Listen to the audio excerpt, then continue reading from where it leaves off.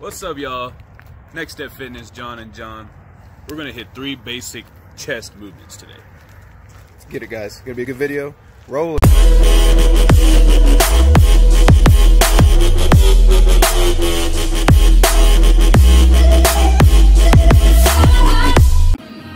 Alright, guys, first exercise today, we're gonna do a chest fly.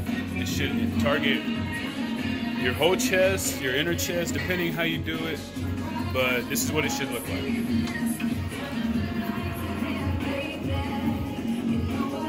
Make sure you squeeze at the bottom and slowly.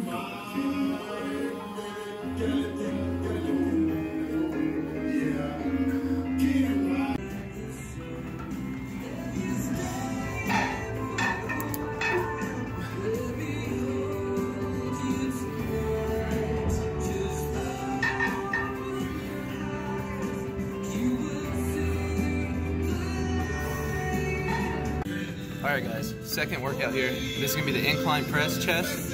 Uh, reason being the seat's at a 45. And then this one's gonna work your chest. It's made for heavyweight. I like to put a lot of heavy weight on this. I'm gonna go through a lightweight movement real quick to show you what you should be hitting. Three sets of 12. So grips, you can go either or, here or here. I prefer here. I'm gonna do one. So when you're in this position, you want to be hitting here, contracting this upper chest. So, all right.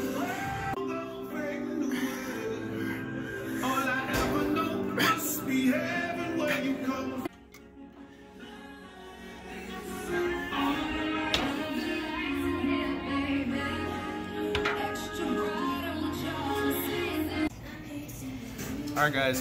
Third exercise here: seated chest press. So this exercise, you're really going to push through and feel it here. And for this exercise, guys, you can grab these handles. But what Next Step Fitness, me and John like to do, get about a straight bar or a flat bar, put it behind it, and push. Really hitting that inside. So when you do your exercise, make sure you're contracting right here, guys. Okay?